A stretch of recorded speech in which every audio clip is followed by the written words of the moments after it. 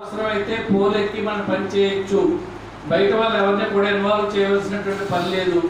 బీజాపురాలు వేయటం గురించి కానీ పైకి వెళ్ళి లేకపోతే ఏదైనా కండక్టర్స్ పిన్స్ లెటర్ మార్చడం కానీ లేకపోతే కండక్టర్స్ బైండింగ్ చేయడం కానీ లేకపోతే ఎనీ వర్క్ మనం చేయొచ్చు. ఈజీగా ఎవరి మీద ఆధారపడక్కర్ లేకుండా ఇది వెంటనే నేను మిమ్మల్ని చేయమని కూడా నేను ఏం అడగట్లేదు.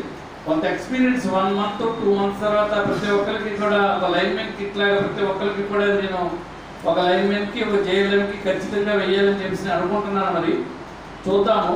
వెంటనే మనం ఏది ఏది కూడా ఒక పెర్ఫెక్షనెస్ అనేది ఆటోమేటిక్గా రాదు.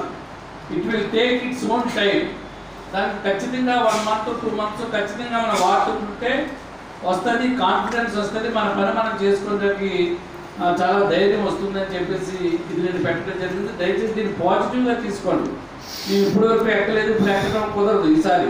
ఎవరైనా మనిషి చనిపోతే మాత్రం నేను ఊరుకునేది లేదు. బయట వాళ్ళని ఎట్టి పరిస్థితుల్లోనూ బయట వాళ్ళని తీసుకుని ప్రైవేట్ ఎలక్ట్రిషియన్ తీసుకుని వాళ్ళని పోల్ ఎక్కించి వాళ్ళని చంపేస్తే మటుకు నేను ఊరుకునేది లేదు. నేను చాలా సీరియస్ యాక్షన్ తీసుకుంటాను ఈసారి.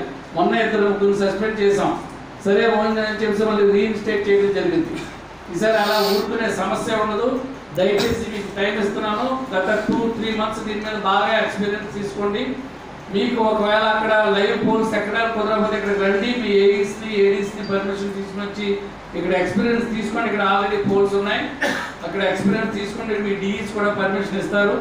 దయచేసి దీని మీద మీ యొక్క పనిని ఒక లైన్ ఇన్స్పెక్టర్గా ఒక లైన్ మెన్గా ఒక జేఎల్ఎంగా ఏఎల్ఎంగా మీరు ఖచ్చితంగా మీ పని మీరు చేసుకునే ఎత్తుల మీద ఆధారపడకుండా మీరు చేసుకుంటారనే ఉద్దేశంతో ఇవన్నీ కూడా ఎంత ఎక్సర్సైజ్ చేసి చేయడం జరుగుతూ ఉంది. మేము ఇది రాకముందు అసలు యాక్చువల్గా మున్సిపాలిటీ వాళ్ళు ఒక వెహికల్ తీసుకుని దాని మీద నిచ్చిన తీసుకుని ఎలా పెడతారో అలా కూడా నేను ప్లాన్ చేయడం జరిగింది. ఒక సబ్ ఒక వెహికల్ మనం పెట్టుకుని ఏది చేస్తే ఎలా ఉంటుంది అనుకున్నాం. కానీ ఇది రావడం తోటి నాకు చాలా మన దగ్గర నుంచి రిస్క్ నుంచి బయటపడే ఉద్దేశంతో తీసుకురావడం జరిగింది.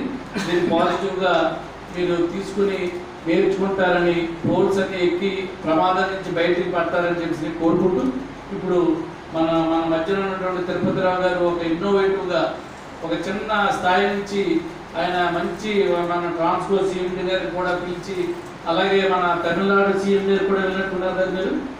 తమిళనాడు? వేరే సీఎంస్ ఎవరో పిలిచినట్టున్నారు. అది కూడా మీరు మాట్లాడతారు? ఆయన ఎవరెవరు పిలిచారనేది ఆయన